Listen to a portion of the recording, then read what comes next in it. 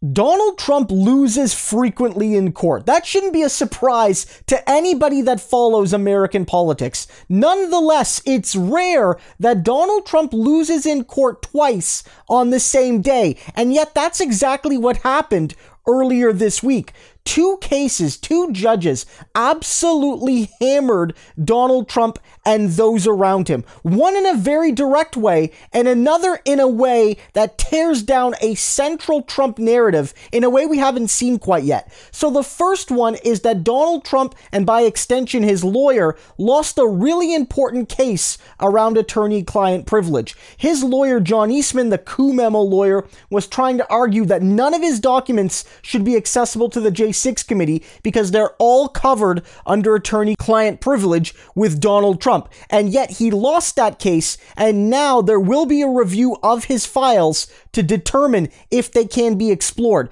That's a massive defeat because the hope for Trump and Eastman was that there would be a total blocking of the files, and that hasn't happened. It says here United States District Judge for the Central District of California, David Carter, on Wednesday said he would review Eastman's emails to determine the validity of his attorney client privilege claims about his interactions with former President Donald Trump. Quote, the circumstances of this case favor review of the emails, in part due to the parties' cooperation to exclude extraneous emails there are only 111 challenge documents between January 4 and 7, 2021.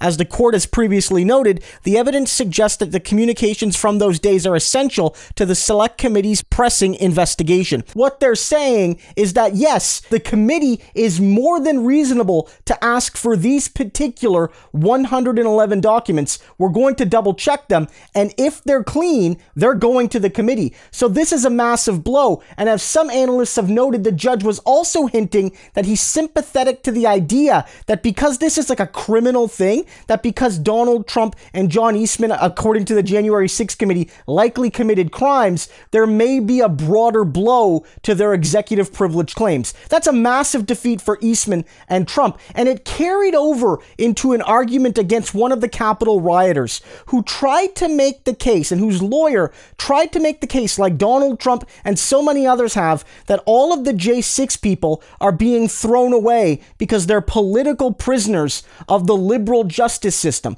That's one of Donald Trump's main arguments. You've heard him make that argument on stages and on social media and wherever he can on Fox News. And the judge called that delusional. He says some members of the public and even a few members of Congress retain the impression that peaceful political protesters are being held in jail pending trial, wrote Lamberth, an appointee of President Ronald Reagan. Neef's detention disproves this delusion.